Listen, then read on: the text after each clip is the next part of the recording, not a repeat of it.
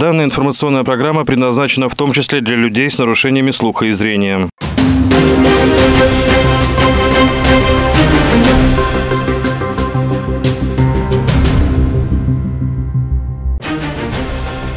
Здравствуйте, в студии Виктория Царева. Прямо сейчас мы расскажем о последних событиях в стране и в мире.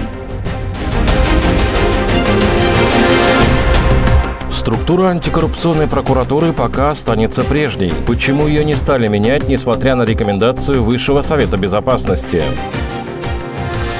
Мэр столицы Ион Чебан обвиняет правительство в махинациях в сфере образования. Какие аргументы приводит градоначальник? Республиканцы получили большинство мест в Палате представителей США. Подробности скоро расскажем. Лось уничтожил два раритетных автомобиля в автосалоне в Швеции. Чем закончился погром?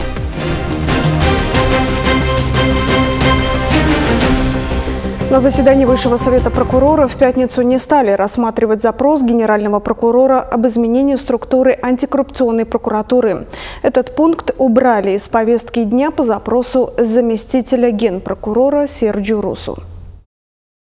Проверила субъекту Трей Modificarea structurii Procuraturii Anticorupție astăzi dimineața a fost înregistrat cererea. Что касается третьего пункта изменения структуры антикоррупционной прокуратуры, утром было зарегистрировано обращение заместителя генерального прокурора Серджи Русу, в котором он попросил перенести обсуждение этого вопроса на другую дату. Причина – иные заседания, которые он не смог перенести. Автор этого запроса, генпрокурор, также не может участвовать на сегодняшнем заседании, чтобы обосновать свой запрос, поскольку находится на работе рабочем выезде. Предполагается перенести обсуждение этого пункта на другое заседание. Есть.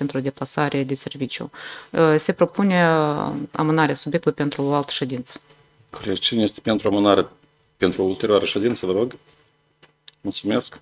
Когда именно будут рассматривать запрос генпрокурора Иона Мунтяну по изменениям структуры антикоррупционной прокуратуры, в Высшем Совете прокуроров пока не сообщили. Напомним, что 11 ноября, после заседания Высшего Совета Безопасности, президент Майя Санду подвергла резкой критике деятельности антикоррупционной прокуратуры. В ответ учреждение выступило с заявлением, в котором приветствовало выводы Высшего Совета Безопасности, но пожаловалось на нехватку персонала и бюджета.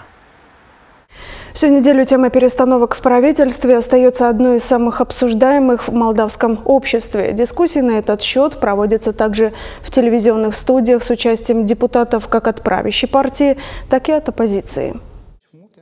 По словам депутата-социалиста Адриана Албу, перестановки в правительстве, о которых объявят на следующей неделе, основаны на опасениях правящей партии получить плохой результат на парламентских выборах.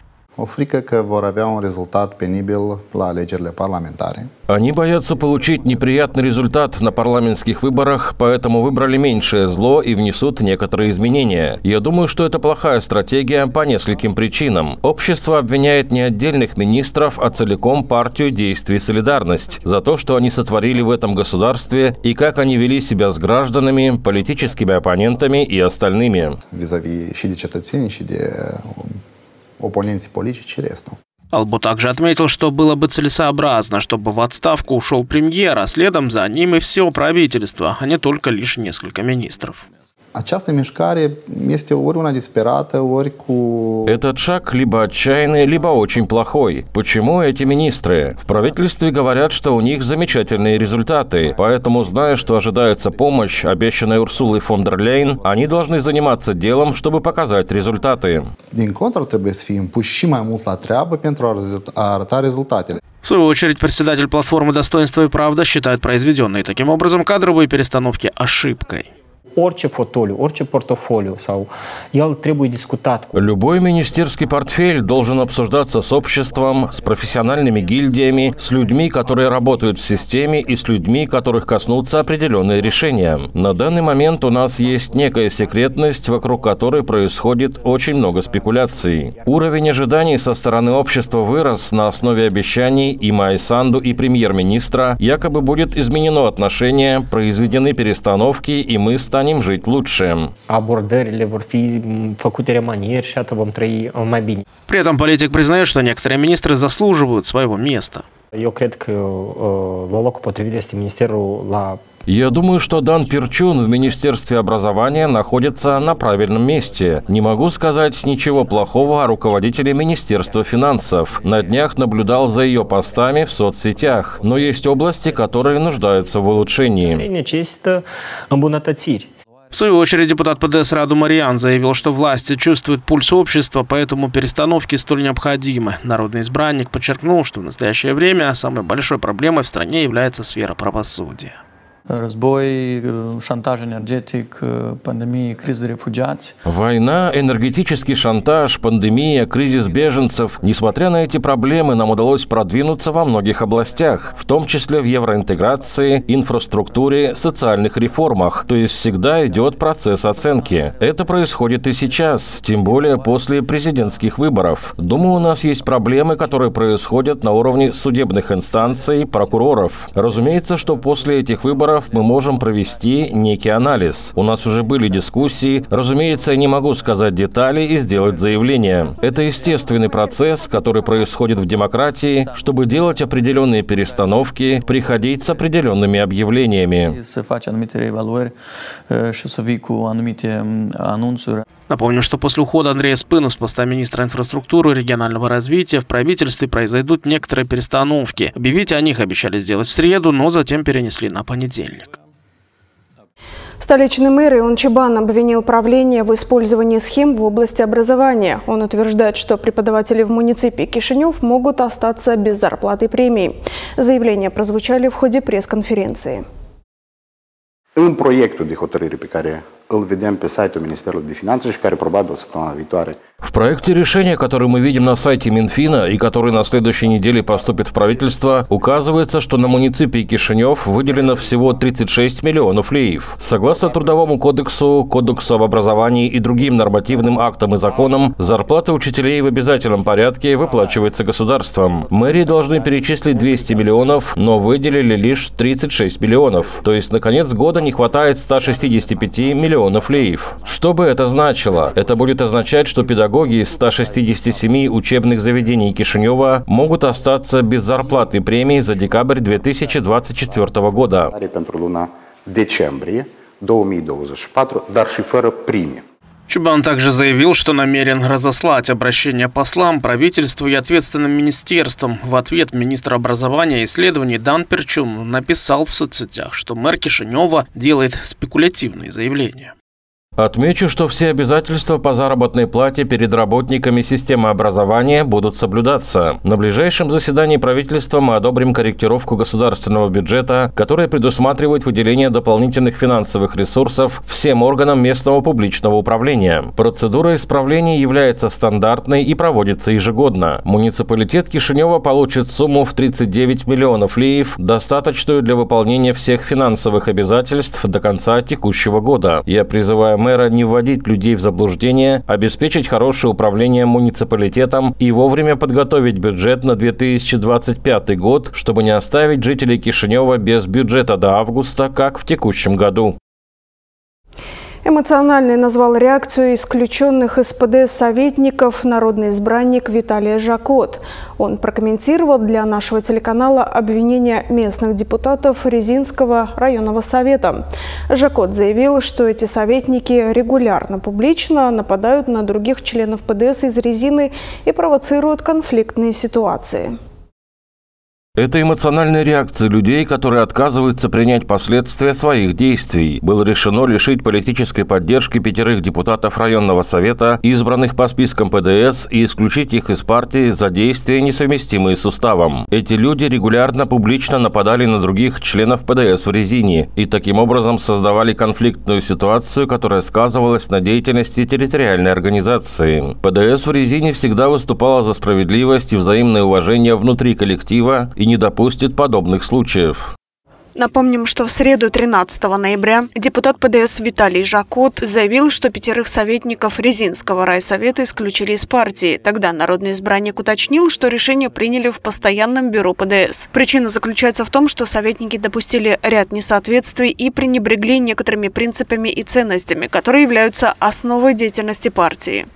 Conform deciziei Biroului Permanent Național al Partidului Acțiune Solidaritate. Согласно решению Национального постоянного бюро ПДС от 12 ноября 2024 года, районные советники Сергей Багрин, Вячеслав Курикеру, Геннадий Жасану, Алена Куйбан и Степанида Друце лишены политической поддержки от ПДС в Резинском районном совете, а также членства в партии. Таким образом, фракция ПДС в Резинском районном совете прекращает свое существование, а выдвинутые лица больше не могут представлять партию и не могут действовать и высказываться от ее имени.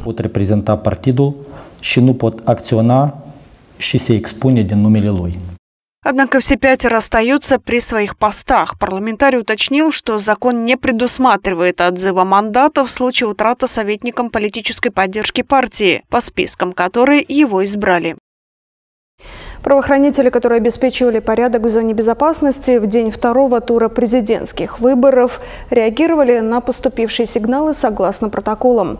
Об этом молдавская делегация проинформировала участников на заседании Объединенной контрольной комиссии в четверг, когда комментировала скопление машин на мосту в Резине и очереди в Варнице. Напомним, что 3 ноября в публичном пространстве появились видео с очередью из машин на мосту между Рыбницей и Резиной и очередью из избирателей на участках в селе Варница. Ряд молдавских оппозиционных партий назвали это препятствованием голосованию. Естественно, были те, кто хотел проголосовать, выразить свое мнение на прошедших в Молдове выборах. Мы только приветствуем такие устремления. А такие инциденты, как закрытие мостов на Молдо-Приднестровской границе в день голосования, минирование здания в селе Варница, где было расположено несколько избирательных участков и тому подобное, вызывают недоумение. Действительно сложилось объективное впечатление, что кто-то в Молдове испугался мнения граждан, живущих в Приднестровском регионе. Тем не менее, задержкой в одну неделю, в четверг, 13 ноября, в Бендерах состоялось заседание ОКК. Молдавская делегация обозначила свою позицию на этот счет. Делегация Республики Молдова отметила, что в населенных пунктах зоны безопасности, где были открыты избирательные участки, меры общественного порядка во время выборов обеспечивались территориальными подразделениями Генерального инспектората полиции. На сигналы тревоги, полученные 3 ноября текущего года, учреждения отреагировали согласно утвержденным протоколам и сочли их ложными. Таким образом, вмешательство дополнительных сил на местах не потребовалось. Также в ходе заседания в Бендерах был представлен новый старший военный начальник военного контингента миротворческих сил Республики Молдова, полковник Дмитрий Сыли. В этом отопительном сезоне жители страны получат компенсации в форме денежной выплаты. Парламент проголосовал за соответствующий законопроект в двух чтениях. Хотя депутаты от фракции БКС предлагали заслушать по этому поводу премьер-министра Дарина Ричана. На выплаты государство потратит более 1 миллиарда леев. Проект имеет приоритетное значение и отвечает общественным интересам, обеспечивая социальные меры, которые связаны с предоставлением компенсаций уязвимой категории потребителей энергии. Законопроект получил положительное заключение, хотя в начале заседания оппозиционные депутаты потребовали заслушать премьер-министра Дорина Ричана, чтобы узнать все подробности о механизме предоставления компенсаций. Однако это предложение не было принято, и проект одобрили во втором чтении. Люди ждут поддержки от правительства, люди ждут поддержки от государства э, с учетом все более и более понижающегося жизненного уровня э, и более низких доходов. Сейчас в парламенте рассматривается проект закона о компенсациях. К сожалению, он вызывает больше вопросов, много больше вопросов, чем ответов по этому поводу. Поэтому, уважаемые коллеги, просим поддержать, пригласить в парламент господина премьер-министра Речина, что он более-менее стабильный, с министрами непонятная ситуация, для того, чтобы мы здесь на месте детально разобрались по этому проекту. Уважаемые коллеги из оппозиции, возможно, в прошлую пятницу у вас была другая повестка, но на пленарном заседании мы обсуждали этот законопроект о фонде снижения энергетической уязвимости. durabilității energetice. Законодательная инициатива по внесению поправок в закон о фонде снижения энергетической уязвимости принадлежит группе депутатов от фракции ПДС. За нее во втором чтении проголосовал 71 народный избранник. Изменения вступят в силу с момента публикации в официальном мониторе. Затем в течение трех месяцев правительство приведет законодательные акты в соответствии с принятыми положениями. Также в пятницу в начале пленарного заседания депутаты почтили минутой молчания память жертв российских атак в Украине. Спикер Игорь Гросу отметил, что 19 19 ноября исполняется тысяча дней с начала войны в соседней стране. Глава Молдова ГАЗ рассказала о непростой ситуации с поставками газа на фоне возможного прекращения транзита из России через Украину с 1 января следующего года. В интервью экономическому обозревателю «Логос Пресс» Вадим Чебан заявил о большой уверенности в том, что Молдова проведет эту зиму без особых волнений. Это касается в первую очередь правобережья.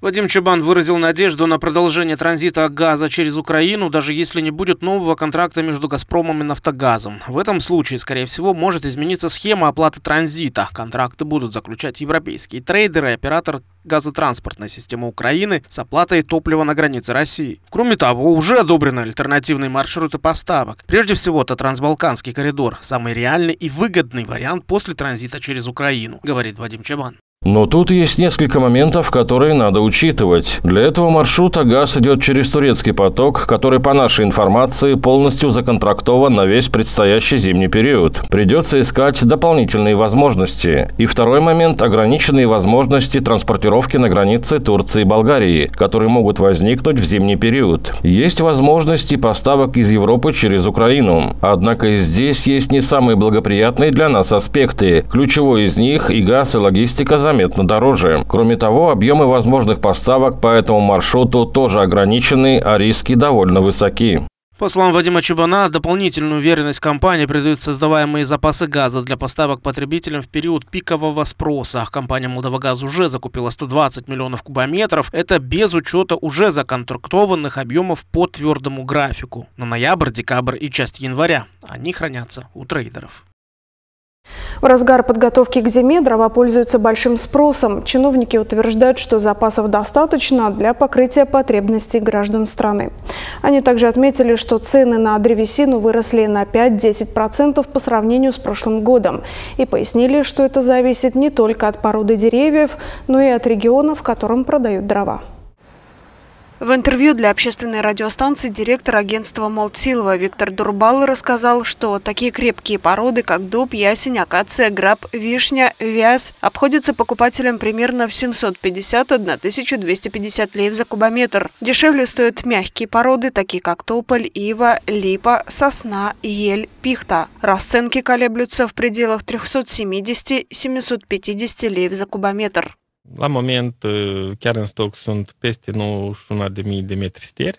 На данный момент имеющиеся запасы древесины составляют более 91 тысячи кубометров. Мы призываем людей приходить и покупать. До конца года ожидается еще 100 тысяч кубометров. Этих объемов достаточно, чтобы покрыть потребности населения в отапливании домов этой зимой.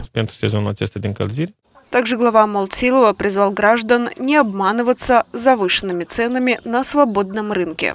Deja ce ține de prețurile care le vedem și noi afișate что касается цен, которые мы видим на открытом рынке, мы часто удивляемся, потому что кто-то все еще занимается прибыльным бизнесом, продавая древесину. Мы призываем всех граждан обращаться непосредственно в лесхозы.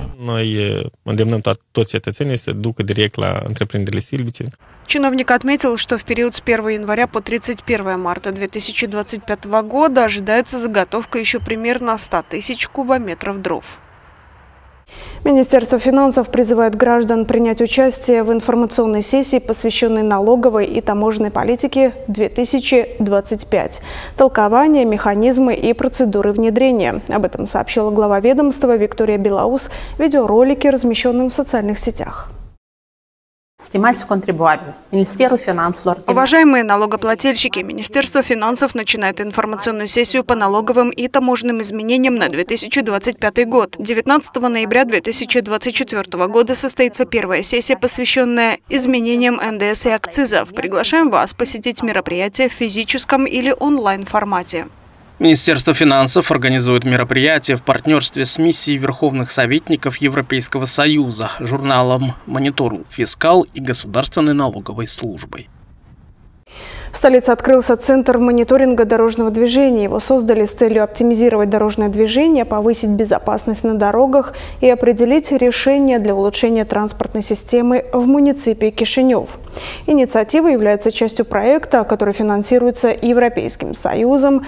Реализацию взяла на себя мэрия Кишинева.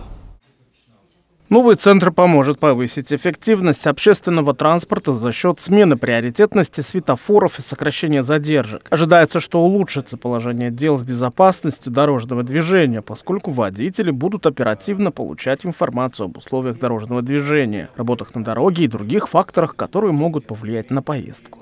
Pentru noi contează foarte mult ca municipiul для нас очень важно, чтобы Кишинев стал примером такого муниципия, где все необходимое есть в 15 минутах езды от дома. Городская инфраструктура позволяет этого достичь. Этот центр мониторинга дорожного движения является еще одним этапом, на котором мы стремимся вместе со всеми вовлеченными сторонами найти лучшие решения для Кишинева, его жителей и гостей столицы. На открытии центра присутствовал посол Евросоюза в Молдове Янис Мажейкс. Он отметил, что Центр мониторинга дорожного движения будет собирать и анализировать данные из различных источников, например, с камер наблюдения полиции. С камер, которые установил сам Центр, будет учитываться информация от системы мониторинга общественного транспорта и из других открытых источников.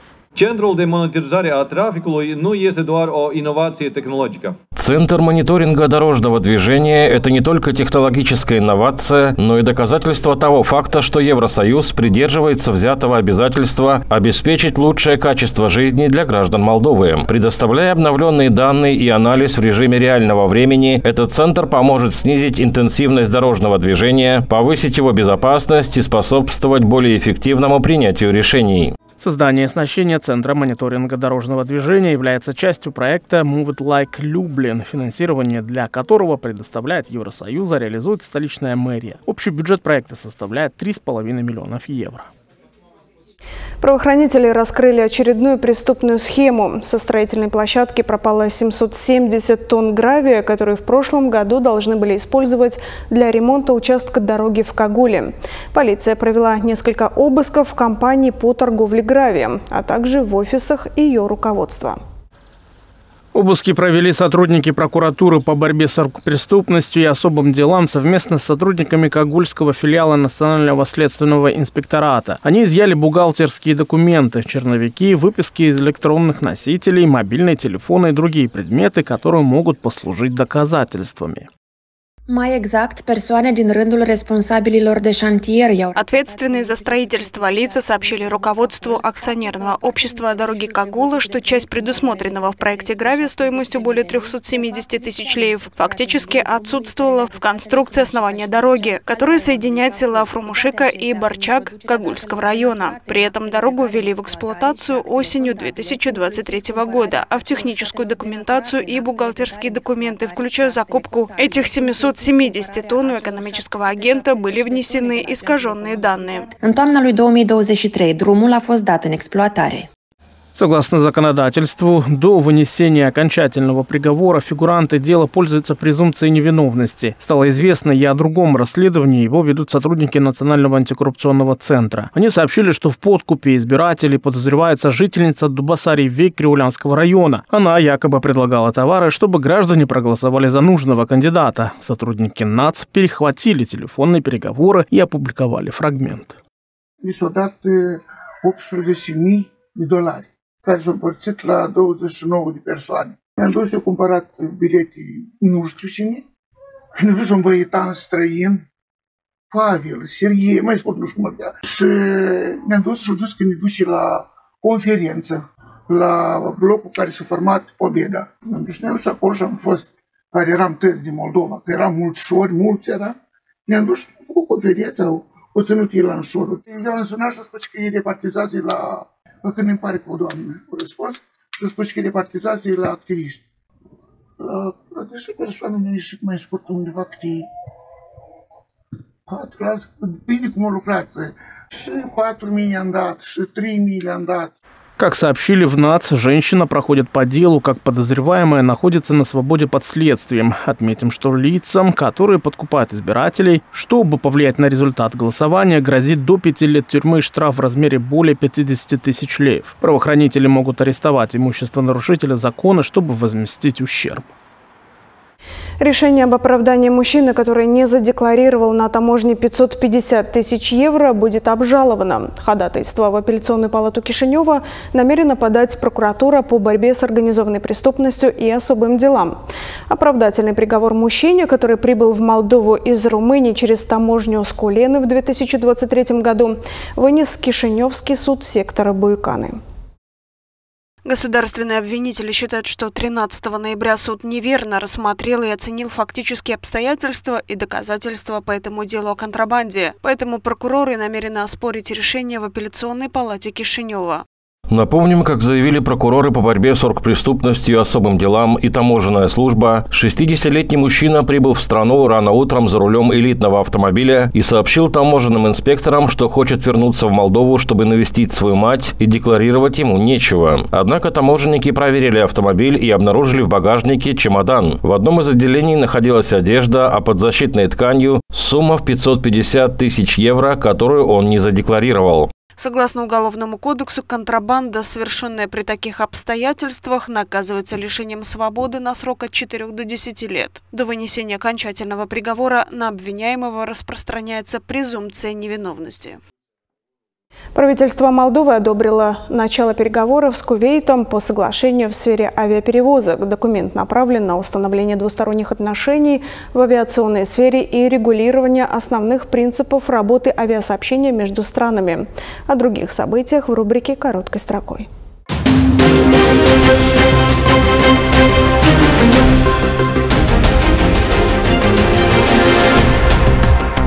Специальная комиссия под руководством премьер-министра Дарина Рычан определила лауреатов национальной премии 2024 года. В Кабмине рассмотрели заявки 24 кандидатов, представивших свои достижения в искусстве, науке, литературе, культуре, медицине и спорте. Список лауреатов обнародуют после его утверждения на заседании правительства. Отметим, ежегодно Кабмин присуждает до 10 премий. Лауреатам вручают дипломы, медали и денежное вознаграждение в размере 100 тысяч леев.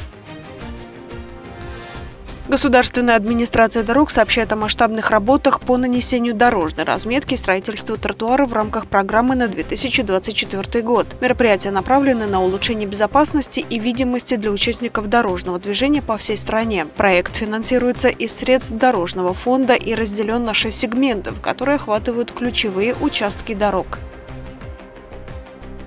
В Штефанводском районе возле села Чубурчиу произошла авария со смертельным исходом. По предварительным данным, поздно вечером 14 ноября 29-летний водитель автомобиля выехал на встречную полосу и столкнулся с микроавтобусом, которым управлял 61-летний мужчина. Автовладелец погиб на месте, а водитель микроавтобуса и четыре пассажира иностранца были госпитализированы с травмами. Полиция выясняет все обстоятельства аварии.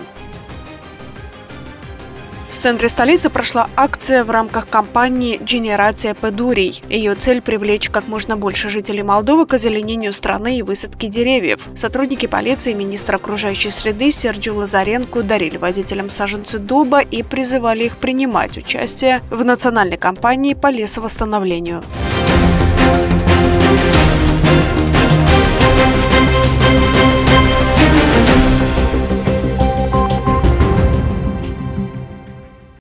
Бензин дешевеет, а дизельное топливо дорожает. Национальное агентство по регулированию в энергетике объявило новые цены на горючее, которые будут действовать в выходные понедельник.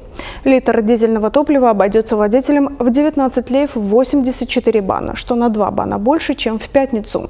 Такой же объем бензина будет стоить 22 лея 78 банов, что на 2 бана меньше, чем сегодня. Напомним, что цены на основные виды топлива регулируют в зависимости от котировок на бирже бирже. Беженцы из Украины, люди с особыми потребностями и рядовые граждане начали посещать бесплатные курсы бухгалтерского и финансового учета в столице. Их проводят в рамках проекта с общим названием «Инклюзивность и разнообразие. Социальной интеграции через образование и культурные мероприятия». Сергею 50 лет, и он утверждает, что возраст в паспорте не должен быть препятствием для получения новых знаний. Возраст не имеет значения для э, обучения, никогда не поздно, э, ни в 50, ни в 40, ни в 30, ни в 20, и не в 60, и не в 70. То есть, если у человека есть желание что-то постигать новое, тогда он э, к этому идет и что-то он узнает. И это, то есть, это некое движение, а движение – это жизнь. Я хочу, может быть, как-то свое будущее связать с бухгалтерией. Для Марины, которая бежала от войны, курс – это новый шанс начать дело, которое ей не удалось запустить дома. Нам очень нужны эти курсы. Э, так как э, не только отвлечься от э, войны, а саморазвиваться. И так как курс, который 1С, очень нужен. Я много здесь узнала, много узнала о Молдове. У нас партнеры также агентство по трудоустройству, Национальное агентство по трудоустройству. А, сегодня проходит курс по обучению финансовой грамотности и ввод данных в 1С бухгалтерию. Очень много желающих оказалось. Цель курса была ознакомить людей именно с профессией бухгалтерского учета, товароведения, э, чтобы люди поняли, если им есть смысл вкладывать высшее образование и идти в этом направлении. Конечно, за 40 часов высшее образование мы не смогли дать, но общий обзор получили все. Более того, многие, кто уже работает на должности помощника бухгалтера, сказали нам, что для них открылись очень новые грани, новые возможности. Проект внедряет ассоциация ТАУР по инициативе швейцарской организации Hex Эпер Молдова при финансовой поддержке швейцарского агентства по развитию и сотрудничеству. Партнерами проекта являются Министерство труда и социальной защиты и Национальное агентство занятости населения. Курсы бухгалтерского учета проводятся трижды в неделю. Их преподают местные специалисты в области экономики. Мы прервемся на короткую рекламу, после которой продолжим выпуск.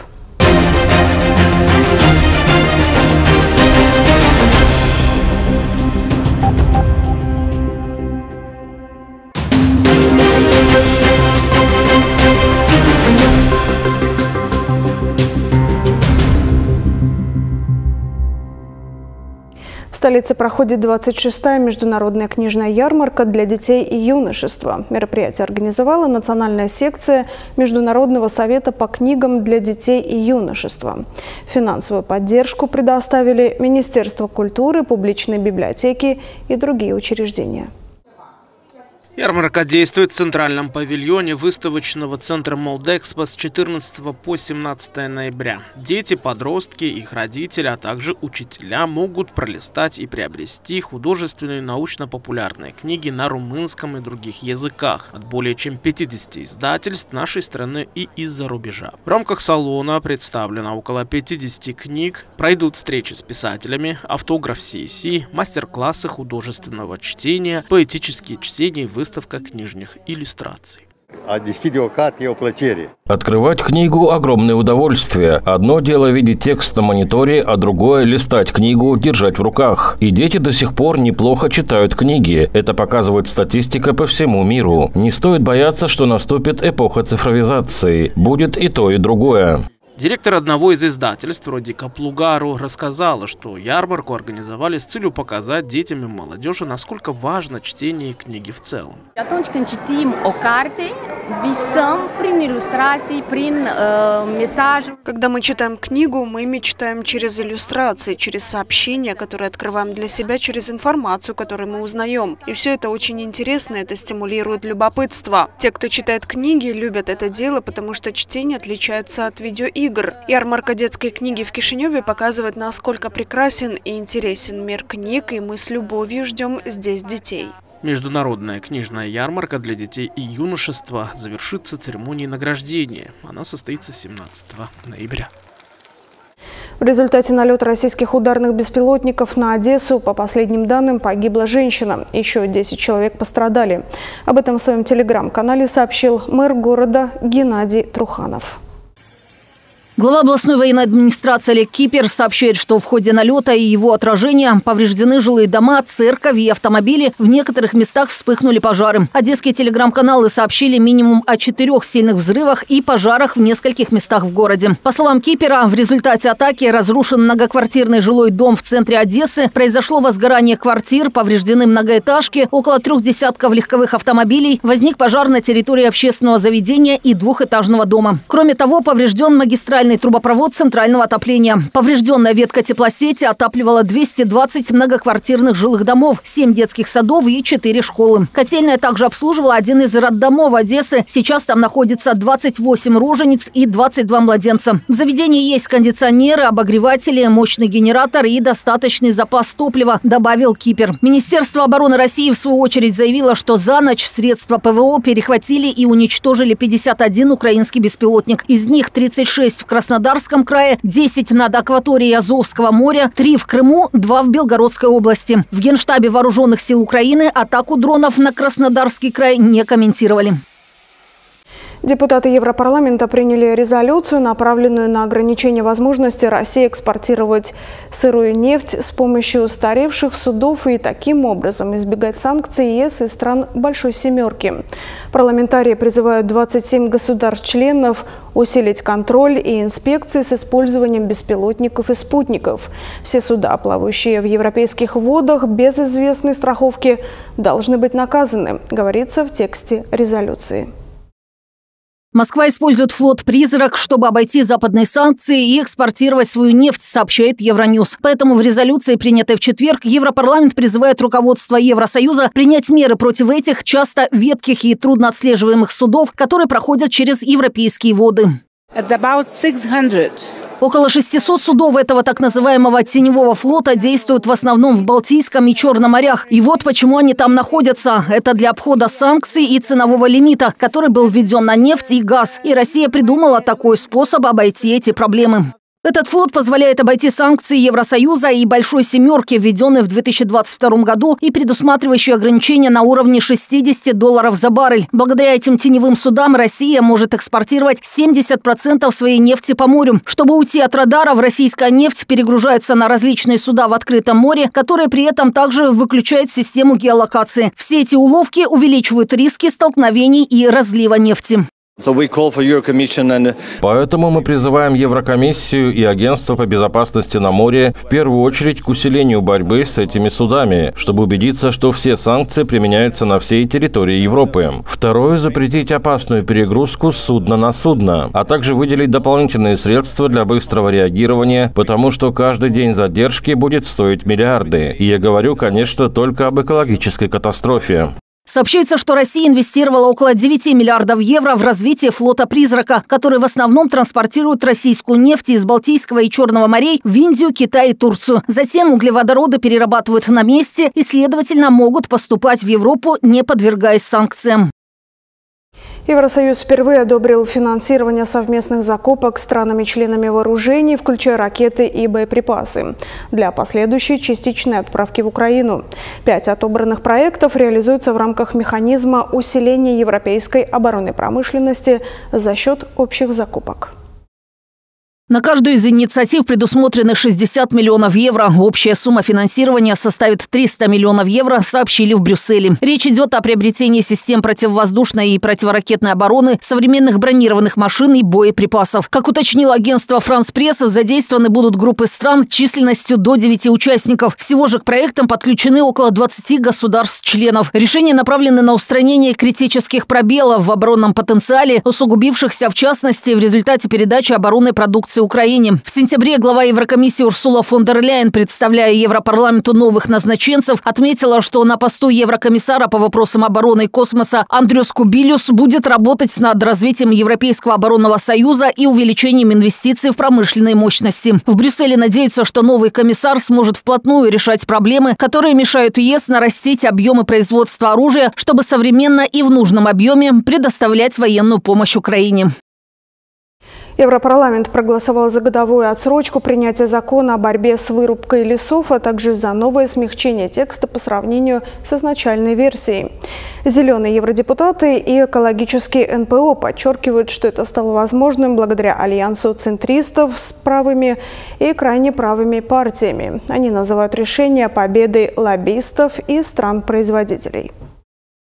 Закон должны были принять в декабре 2024 года. Изначально он замышлялся как запрет на импорт в Евросоюз товаров, производимых за счет вырубки леса. Речь прежде всего идет о какао, кофе, сое, говядине, пальмовом масле, каучуке, ценной древесине. В лагере заинтересованных стран – Бразилия, США, Малайзия и Индонезия. Они заявили, что не готовы гарантировать полную прозрачность ввозимой в ЕС продукции. В их поддержку и за подписание соглашения с Меркосур выступила Германия. Против европейские фермеры заблокировали блокировавший в конце прошлого года дороги. По данным защитников дикой природы, на долю ЕС приходится 16% обезлесения в мире. Ежегодно уничтожается более 200 тысяч гектаров, что в 20 раз превышает площадь Парижа. Сторонники отсрочки заявляют, что экологические стандарты наказывают Европу по сравнению с остальным миром.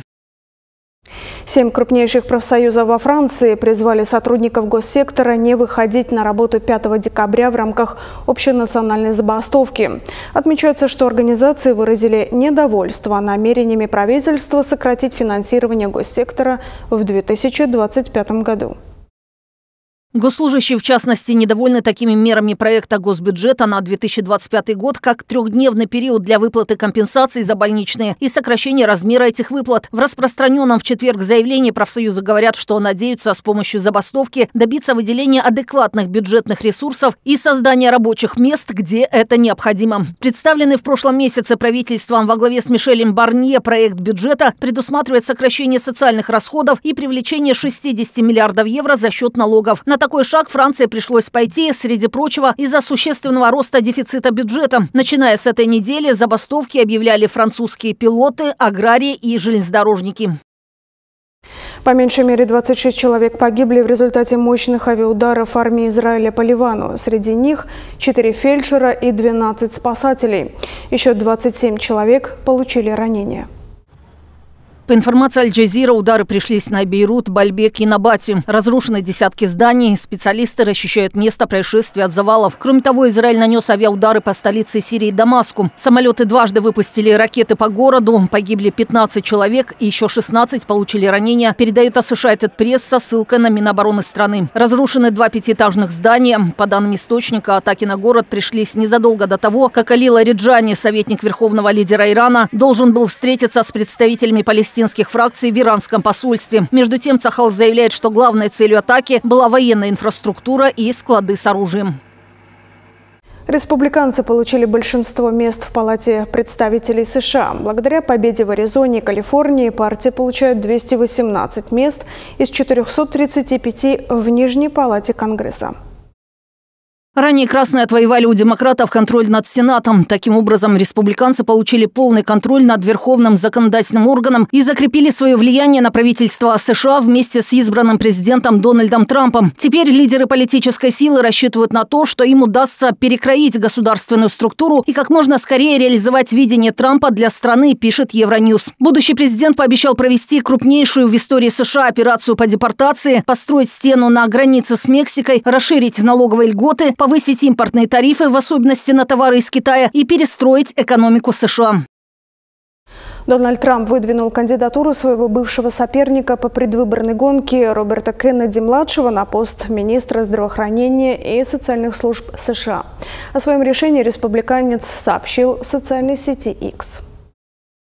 Трамп считает, что американцы слишком долго страдали от индустриального продовольственного комплекса и фармацевтических компаний, которые прибегали к обману и дезинформации в вопросах общественного здравоохранения, и Кеннеди решит эти проблемы. Еще он положит конец эпидемии хронических заболеваний в стране, а также защитит граждан от вредных химикатов, пестицидов и пищевых добавок. Отметим, Кеннеди-младшему 70 лет. Он принимал участие в президентской гонке 2024 года как независимый кандидат, но в августе вышел из нее и поддержал Трампа. Кеннеди неоднократно подвергался подвергался критике за свою позицию относительно вакцин, связывая их с ростом аутизма среди детей и обвинялся в распространении дезинформации во время пандемии COVID-19. Сам он не согласен с ярлыком антипрививочника, утверждая, что лишь требует более строгих тестов вакцин. Для того, чтобы Кеннеди-младший смог приступить к исполнению обязанностей, его кандидатуру должны одобрить в Сенате. Тысячи гектаров леса на северо-востоке США на границе штатов Нью-Йорк и Нью-Джерси охвачены огнем. Его пока не удается потушить. Пожары в этом регионе случаются редко, но из-за сильной засухи ситуация изменилась. Пожар Дженнингс-Крик охватывает границу между округом Пассейк в Нью-Джерси и округом Ориндж в Нью-Йорке. Он уже уничтожил более 2000 гектаров кустарника и густого леса около озера Гринвуд. При тушении огня погиб 18-летний пожарный волонтер. Жители этого района сравнивают пожар с разрушительными лесными пожарами, которые часто можно видеть на западном побережье США. Это было очень похоже на то, что мы видели по телевизору в Калифорнии, и я не думал, что это может произойти в Нью-Джерси. Это был пылающий ад, страшно. Моя соседка плакала, ей 44 года, она была напугана. Многие были напуганы. Люди, живущие в Ист-Шор-Роуд, оказались в ужасном положении. Их дома могли загореться от углей, летающих в воздухе и попадающих на крышу. Мы испугались, потому что никогда ничего подобного не видели, и это просто вышло из-под контроля. Люди были напуганы, все мои клиенты тоже. Мы находимся прямо рядом с лесом. Пожар начался в конце прошлой недели, пока его удалось локализовать лишь наполовину. Причина возникновения пожара пока не установлена. Китай готовится отправить к орбитальной станции Тяньгунь грузовой космический корабль Тяньчжоу-8. На борту, помимо припасов для экипажа, кирпичи из лунного грунта, их планируют испытать в условиях открытого космоса. В случае успеха в будущем их смогут использовать для строительства лунной базы. Из чего построить базу на Луне? Китайские ученые предлагают амбициозное решение – изготавливать строительные материалы на месте прямо из лунного грунта. Это устранило бы необходимость дорогостоящей транспортировки стройматериалов с Земли. Ученые уже создали образцы строительных элементов из грунта, ранее доставленного с естественного спутника нашей планеты. Теперь задача – проверить их в условиях космоса. Имитация кирпичей из лунного грунта, которые я держу в руках, намного прочнее, чем традиционные кирпичи, которые мы используем на Земле, и они отлично подходят для строительства будущих баз на Луне. Особая форма кирпичей позаимствована из традиционной китайской архитектуры. Здесь такой тип соединений используют уже 7 тысяч лет. Чтобы проверить, насколько кирпичи из лунного грунта устойчивы к условиям открытого космоса, их отправят на китайскую орбитальную станцию, где подвергнут воздействию космической среды, которая имитирует условия на Луне. Образцы для испытаний изготовлены из пяти разных составов. После испытаний образцы вернут на Землю, где мы сможем изучить их состояние и сделать итоговые выводы относительно их пригодности для строительства на Луне. Сейчас грузовой космический корабль Тяньчжоу-8, который доставит кирпичи из лунного грунта на орбитальную станцию, уже находится на стартовой площадке космодрома Вэньчан на юге Китая. Запуск состоится в ближайшие дни. В Шанхае запустили сервис доставки еды с помощью дронов. Услуга проходит проверку пока только в одном районе, прилегающем к центру города. Вес, который может поднять аппарат, не более 2,5 килограммов. Разработчики стартапа надеются таким образом сократить сроки доставки в плотно населенном городе. Летом этого года курьерскую службу с дронами также запустили на Великой Китайской стене в Пекине. Скорость доставки тогда удалось сократить почти в 10 раз. В Лос-Анджелесе раскрыли необычное мошенничество. Группа подозреваемых пыталась сделать вид, что их автомобили повредил медведь и получить за это компенсацию.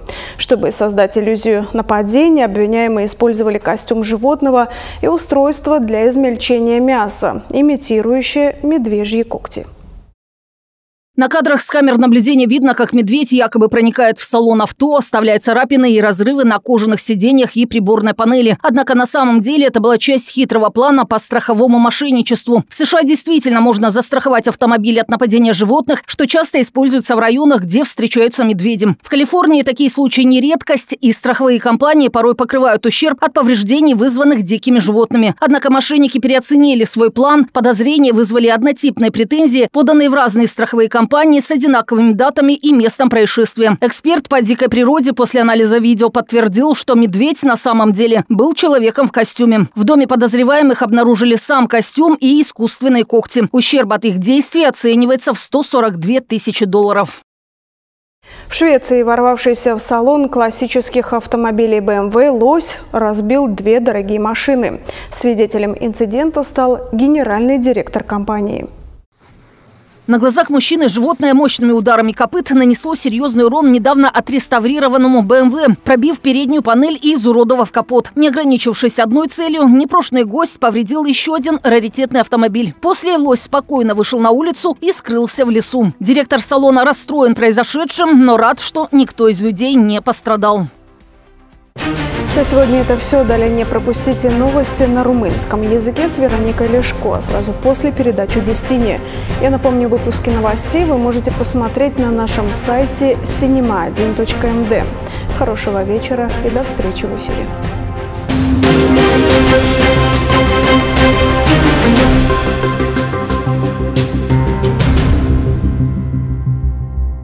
Вы посмотрели информационную программу, предназначенную в том числе для людей с нарушениями слуха и зрения.